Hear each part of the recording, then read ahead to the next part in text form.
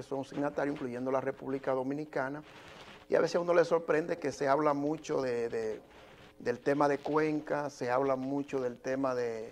Bueno, el presidente de la República está muy preocupado con el tema del agua, de hecho creó un gabinete del agua que le ha dado mucho seguimiento y habló de un pacto nacional por el agua, o sea que él está sumamente eh, focalizado con el tema de agua, pero eh, en el tema no, no, ha salido a relucir precisamente esa cuenca que, transnacional entre Haití y República Dominicana, que por ahí debe empezar eh, un pacto de agua. Eh, Víctor, realmente, ¿cuál es el asunto? Porque si, si estamos hablando de una, de una que hay limitaciones, esta parte es nuestra y esta parte de Haití. Entonces, ¿dónde viene, dónde viene, dónde se genera el problema producto de esta acción, de esta acción que inició Haití y que, como decía ahorita, afortunadamente detuvo ese, ese proyecto.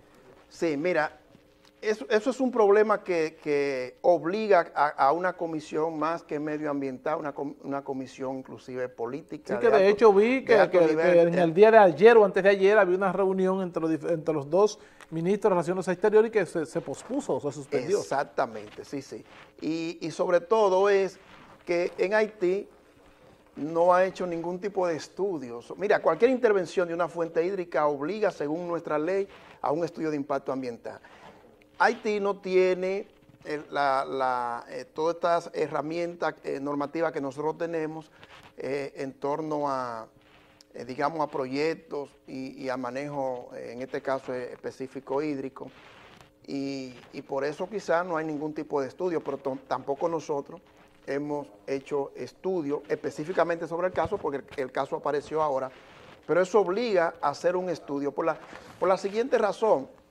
El río Masacre o, río eh, Dajabón. Dajabón nace en el, pico de, en el Pico de Gallo, una loma en, Loma de Cabrera, y, y, de ahí llega un momento que por el territorio de, de Dajabón entra Haití y va serpenteando básicamente por, el área limítrofe de los dos países y entra a ti y, vuelve y sale para desembocar en, en, Pepillo Salcedo, en la bahía ya, que es algo que debe entenderse que cualquier cosa que se haga en el río, cualquier deviación de un cuerpo de agua va a afectar eh, su desembocadura. Sobre todo pensemos en lo siguiente.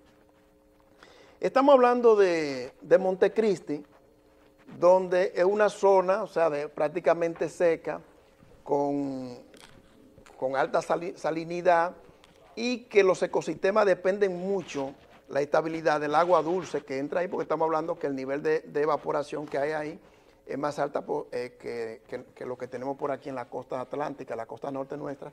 Entonces, cualquier disminución del flujo de agua en esa parte puede afectar toda la parte coralina, puede afectar toda la vida que, hay en esa zona. Fíjate que estamos hablando de Dajabón y lo estamos vinculando en su desembocadura porque no es, no, no es, no es tan desvinculado. Lo que suceda en el río allá, en Loma de Cabrera, va a afectar eh, en su desembocadura en la, en la bahía de, de Pepillo Salcedo. Entonces, es necesario hacer un estudio, pero un estudio binacional y un estudio de una alta comisión donde inclusive participen organismos internacionales, porque estamos hablando de una, cuenca transnacional que aunque tiene una implicación medioambiental, como yo lo veo, es que ese es el pretexto para, para hacer aflorar ese nacionalismo a ultranza, muchas veces ¿Y qué se trataría, por ejemplo, en ese encuentro que usted plantea, eh, Víctor Almanza? Mira, en ese, en ese encuentro el tema obligado es un plan de manejo eh, transfronterizo entre Haití y República Dominicana de la cuenca.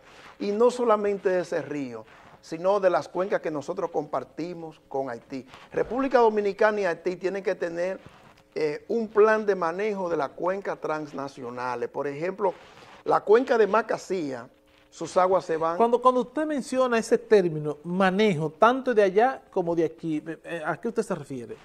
Yo me refiero que República Dominicana y Haití deben definir política conjunta de manejo de esas cuencas, el eh, eh, manejo integral desde su nacimiento. No solamente estamos hablando de las aguas que van a Haití. Por ejemplo, e, este río que pasa por Haití, luego, luego sale para eh, desembocar allá en, en, Pepillo Salcedo, en, en Montecristi, no es solamente la parte que entra a Haití, no. Es un plan de manejo de, la cuenca de ese río, desde Pico de Gallo, en, Loma de Cabrera, hasta su desembocadura en Pepillo Salcedo. O sea, un, plan entre estos dos países y donde debe participar inclusive una, una comisión de la ONU. ¿Por qué la comisión de la ONU? Porque hay un, hay un acuerdo de los cuales nosotros somos signatarios sobre, sobre las aguas transnacionales, las cuencas transnacionales, y se creó una comisión este, intergubernamental precisamente para, para trabajar en ese tipo de casos. Entonces, parte de esa comisión debe estar presente ahí.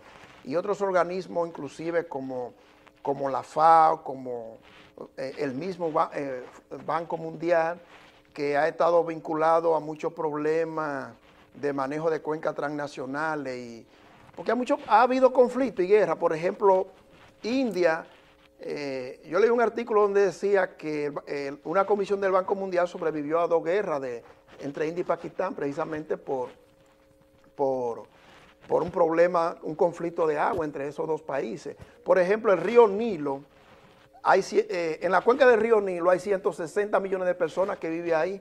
¿Y sabe cuántos países hay que se benefician de esos 10 países?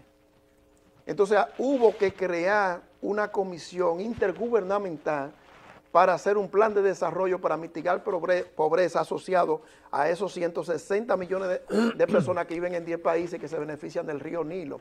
O sea que cuando una cuenca es compartida por, por un país, por, varios países, en este caso por dos países, vendrá el conflicto en cualquier momento. Entonces eso, eso obliga a un plan estratégico, a un plan de manejo, a, a definir política y, a, definir toda una, visión inclusiva internacional del manejo de recursos en, agua. En este caso... lo que debe abocarse.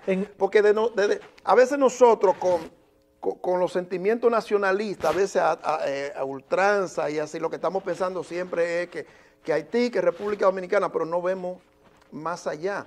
Nosotros somos dos naciones. Pero eh, Víctor, ese pensamiento nuestro que usted dice que a veces no nos permite esa, visión nacionalista que tenemos, que solamente vemos de este lado lo que no conviene, por ejemplo, en el caso nuestro, que se cree ese conflicto, no será un conflicto tal vez provocado por uno de los dos, y en este caso digo Haití, que es Haití es un estado fallido, donde absolutamente las instituciones no funcionan. Entonces, en este caso, tal vez los más afectados somos nosotros, que tal vez mínimamente nos hemos preocupado por darle seguimiento y mantener eh, nuestra parte, tal vez con el cuidado más o menos, pero de aquel lado absolutamente nada. ¿No será eso lo que, lo que crea el conflicto?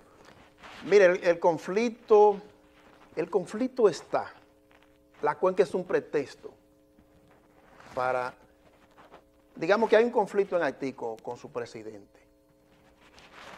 y eso, estos, políticos, estos políticos lo que hacen cuando tienen conflicto es buscar... Echándole un pelo a la sopa para... Sí, pero usar un pretexto para desviar a veces hasta la atención. fíjate que cada vez que se, que se dan esa situación entre Haití y República Dominicana, o hay un problema con el gobernante haitiano, o hay un problema de este lado.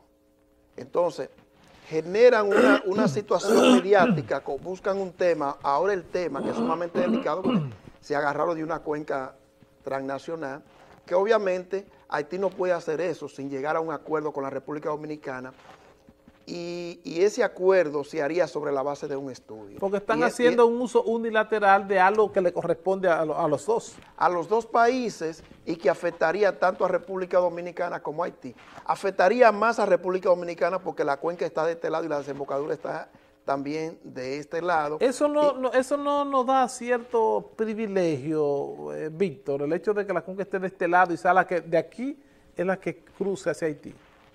Más que privilegio, lo que nos da es la obligación de mantener una política de manejo de cuenca transnacional para ajustarnos eh, a, una... Porque a, pesar de que hay un, acuerdo de, manejo transnacional de, cuenca, a pesar de eso hay decenas de acuerdos que obligan precisamente a que nosotros definamos política de, manejo de cuenca.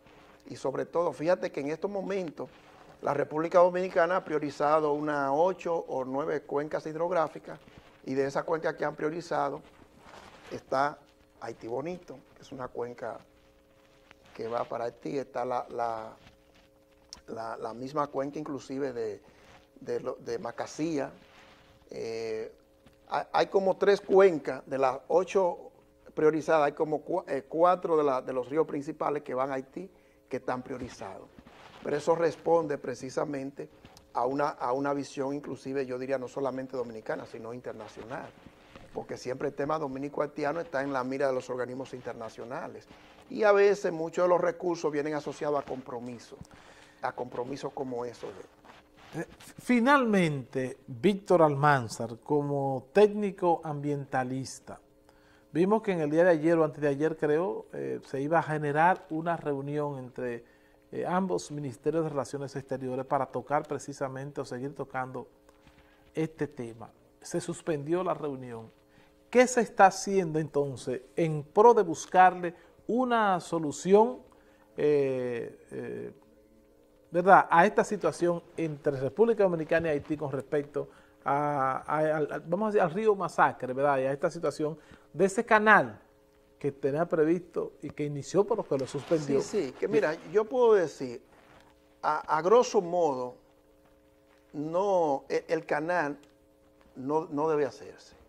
Por una razón, mira, ayer nosotros, yo estaba en una reunión precisamente con con Luis Carvajal, Milton Martínez, coordinando, estábamos coordinando algunos trabajos sobre, eh, precisamente aquí eh, en la zona, con la técnico de la Academia de Ciencias y de, la UAS. Y, nosotros decíamos que si, el, que si este río tuviera cierta pendiente, porque el río se, se desliza sobre una planicie, donde no hay pendiente, si este río tuviera una pequeña pendiente, fuera un río intermitente, ¿qué significa eso? Que tendría periodo del año donde donde no, no, veríamos ningún caudal en ese río. Pero como entra en una planicie, tú sabes, eh, se desliza muy lentamente y eso hace que siempre haya un poco de agua. Pero el volumen de agua, que debe andar de un metro cúbico por segundo a 1.3, por ahí máximo 1.4, o sea, si tú le sacas un volumen de... Eh, eh, gran parte de ese volumen para llevarlo hacia ti, tú, estarías generando aquí una situación difícil para el río, tú estarías generando posible conflicto eh, hasta por la zona de Pepillo Salcedo en, en Montecristi. O sea, que a grosso modo yo creo que lo que impera es llegar a un entendimiento entre las dos naciones. Y en vez de hablar de aprovechar el río, lo que deben hablar es de un plan de manejo transfronteriza de esa cuenca. Víctor, ya, ya sí es finalmente, en, dos minutos, ¿verdad?, que nos quedan, realmente, ¿cuál era o cuál es, de haberse materializado, la intención por parte de Haití de hacer este, este canal, en el cual tampoco usted está de acuerdo? Sí, ¿Cuál es la intención?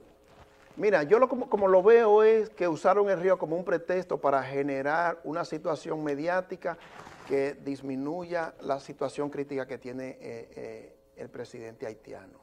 así yo lo veo, porque no es la primera vez que cuando hay conflicto en el, en el gobierno de nuestro vecino, o sea, alguna estrategia buscan para generar un conflicto que disminuya la eh, el foco de atención hacia el gobernante. Vamos a poner un nombre a esa estrategia política, Víctor. Es una estrategia balaguerista que tenía, ¿verdad?, como eh, siempre debajo de la manga una carta que con un tema sacaba otro. Los haitianos son muy sagaces, eh, muy sagaces, políticamente nos llevan mucho a nosotros, muy sagaces, porque es un país pobre, eh, como es un, eso es un estado fallido, como, como se dice, pero allá hay una élite pensante muy sagaz y sabe cómo manejarse. Y a nosotros nos han comido siempre los, los caramelos en los organismos internacionales y ellos siempre eh, van a ser, o sea, van a ser la víctima y, y, eso le va a generar toda la simpatía de la comunidad internacional. Así y nosotros seremos los más. Víctor, gracias hermano una vez más por eh, atender a esta invitación que le hiciéramos para tocar este tema. Y vamos a mantenerlo pendiente sobre este tema y otros que usted tiene también el compromiso de que se nos había alejado un poquito a producto de esta pandemia y esta situación. No se ponga adelante, ¿Eh? tocayo, que usted me ha sacado los pies. no, usted sabe que no. Hermano, gracias por estar con nosotros. Un abrazo. Víctor Almanza, técnico ambientalista, experimentado en la República Dominicana y a nivel también internacional, estuvo con nosotros en el día de hoy en la entrevista.